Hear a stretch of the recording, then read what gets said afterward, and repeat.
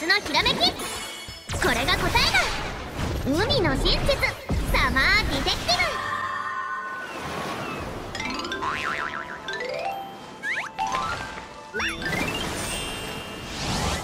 ブ。水着の名探偵。現場に到着さ。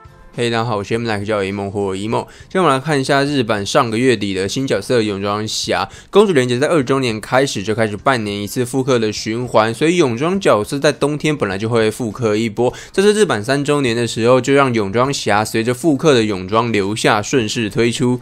的感觉啦，反正就是补了之前有图没角色的坑，不知道财团这几只有没有机会。虽然访谈的时候说这种角色是看出场率，但我觉得还是有人气的因素在啦。说回泳装侠这只台版，按照排程来看是六月底七月初，所以刚好在台版是泳装的季节推出，是常驻角啦。但它很强，尤其是想打联盟战，最好还是抽出来。它是后卫魔法破防辅助角，当然就是新黑好伙伴。来看一下技技能的部分哦，显示在画面上，好奇系数的可以稍微看一下。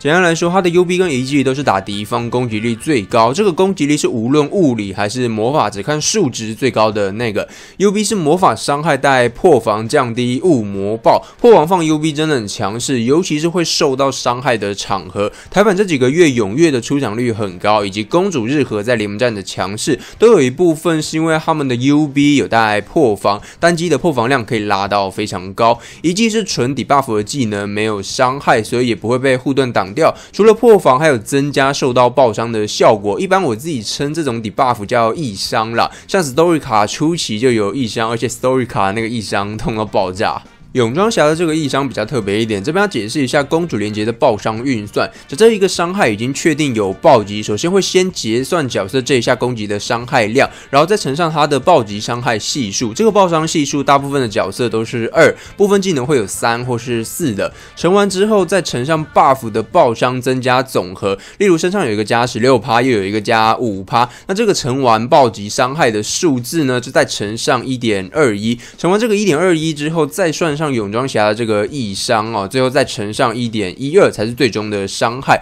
以风骨的角度来看，泳装侠这个异伤跟 buff 角色的伤害增加就都是中伤哦，一坨乘在一起的伤害就会超级恐怖。所以像六星镜华那样，自己本身爆伤系数就比较高的，吃到这种 buff 或者是异伤，效益就会倍增。当然了，就算没有这个倍增，它的效益还是很夸张。搭配新年凯流之后，叠伤害的速度就会增加不少。这个异伤很强的，计算上就很浮夸。新黑本来小招打个六十万好了，多这个异伤就直接变成一点一二倍的六十七万二。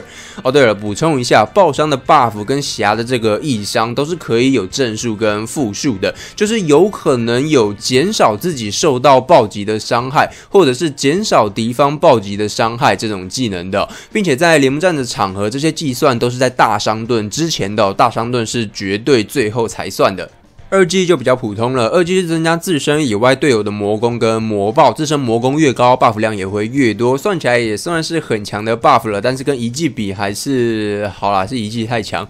如果理解技能，应该不难理解为何在联盟战这么强势了。不管是偷懒刀、手动刀、新黑刀、传统法刀，绝对都是很强势的角色。如果会在意联盟战的伤害，那就算他是常驻，也绝对是要抽的。PVP 的部分就没什么搞头了。先不论你很难确定对方攻击力最高是谁这件事情，毕竟你也不知道对方专武级等装备有没有强化。假设你真的能打在你要打的人身上，这个时候的效益通常还是不及破防专门的角色，因为联盟战是防御能破完，破完防御之后爆伤的效益非常好。但没破完防御的话呢，破防的效益还是比较好的。所以现在 PVP 基本上还是用原版侠或是。泳装七七香啦。